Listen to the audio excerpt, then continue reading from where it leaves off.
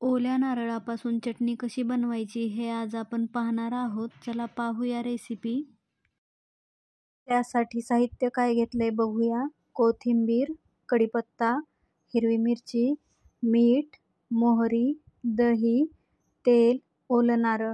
मिक्सरमध्ये बारीक करून घेतलेलं ओलं नारळ घालायचं आहे दोन चमचे दही दोन हिरव्या मिरच्या चवीनुसार मीठ घालायचं आहे बारीक कट केलेली कोथिंबीर थोडंसं पाणी घालायचं आहे आणि हे सर्व मिक्सरवरती फिरवून घ्यायचं आहे अशा प्रकारे मिक्सरवरती बारीक करून घेतलं आहे तडका बनवूया.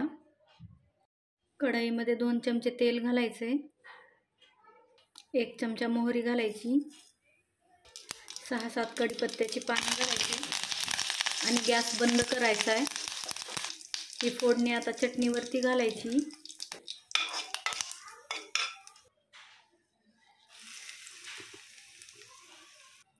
आणि मिक्स करून घ्यायचे.